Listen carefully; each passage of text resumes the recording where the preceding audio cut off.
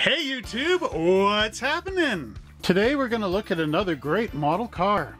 This is the Monogram 1978 Chevrolet El Camino Camper. This model is on loan from my good friend James. We will also show you where to buy our model cars at the end of this video. Also stay tuned to the end of the video for my build of this model. Now we go all the way back to 1979 to our Chevrolet showroom where we get to take a look at the El Camino camper.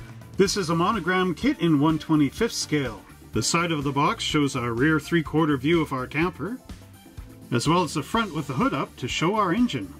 We also have this great write-up on the side of the box in English telling us more about our El Camino camper, as well as in many other different languages. Now let's just lift the lid on our box and see what's inside here just briefly before we go into more depth.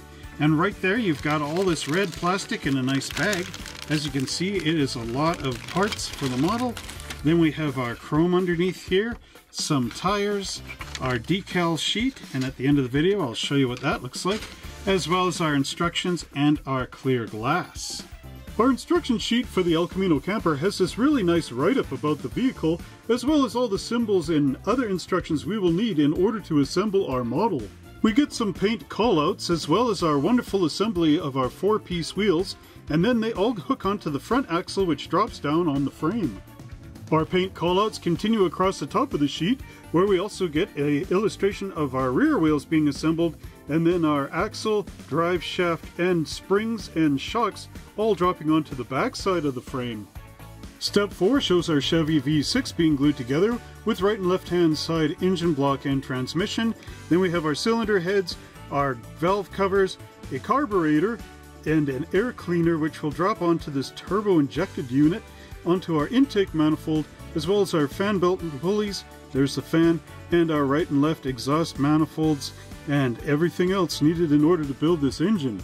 Step 5 shows the top of the turbo and where that pipe hooks up to the bottom of our exhaust manifold and how our engine drops right into place on that chassis. Panel 6 shows our interior tub with our two bucket seats that drop into place and then here we've got this nice dashboard, a steering wheel with a console, and it looks like another CB radio right out of the 70s man. Panel 7 shows our glass being dropped in and you also have to cut out your headlights out of here. Panel 8 is really straightforward, it's just showing our mirror being put into the center of our front windshield. Next we hook in our assembled interior into our body. Step 10 shows our body being dropped onto our chassis rails. Step 11 shows our headlights going into our grille assembly, which then goes into the front of the car. We also add in this front splash pan, our bumper, and our license plate. Now we're going to need to cool our car down with our radiator and shroud and this upper radiator hose, which all drop down into the front of the car. We have this really nice hood with an off-center air inlet, which will hook into the front of our windshield just here on the body.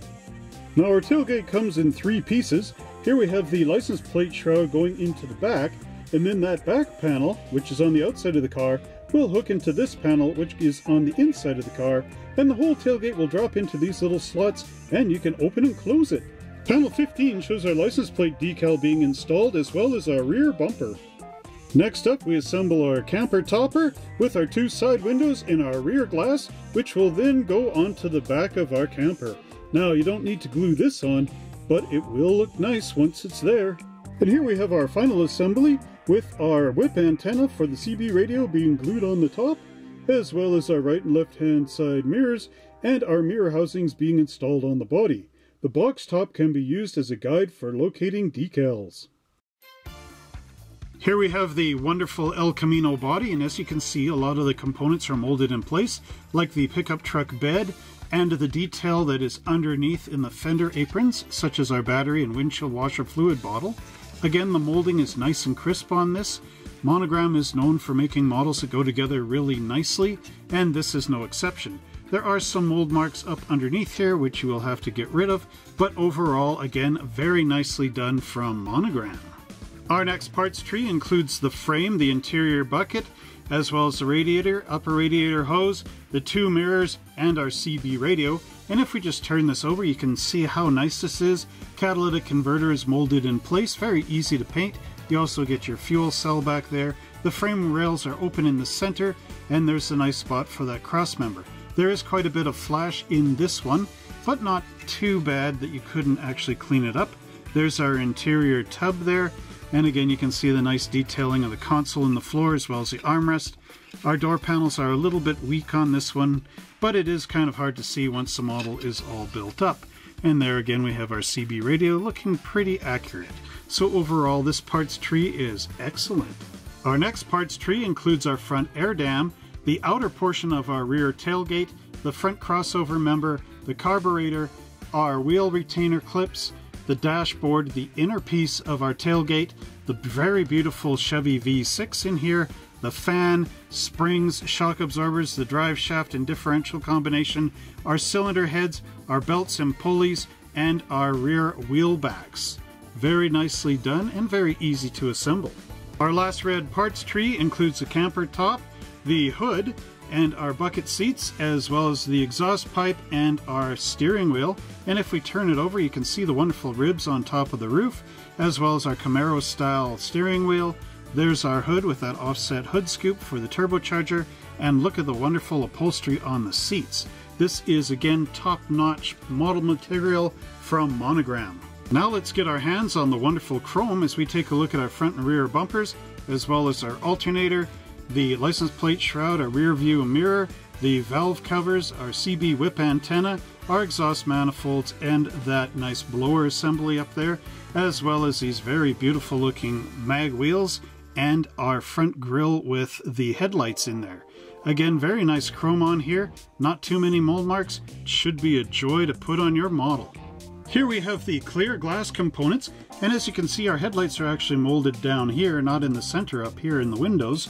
Again, our windows are connected with these two bridges, and then there's all the ones for the rear glass. They have a nice ridge around here which you could add bare metal foil on or black metal foil just to make it look quite accurate. Here we have these wonderful Goodyear GT Rally tires.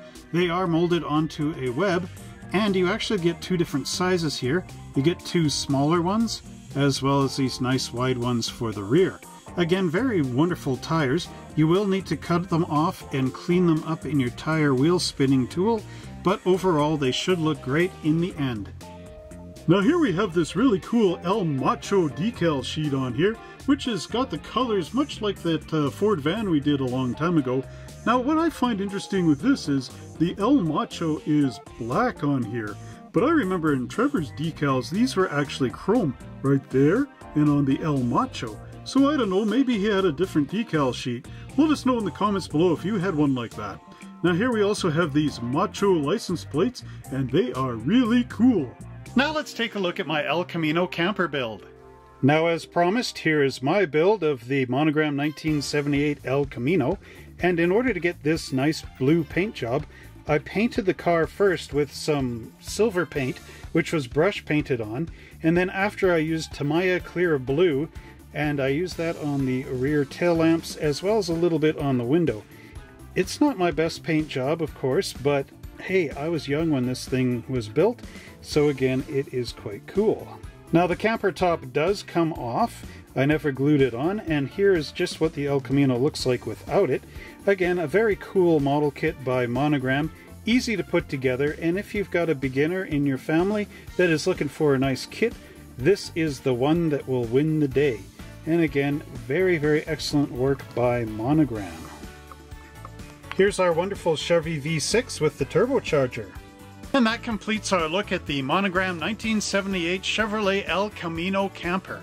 And I would like to thank my good friend James for loaning us this model kit today that we could have a nice look at.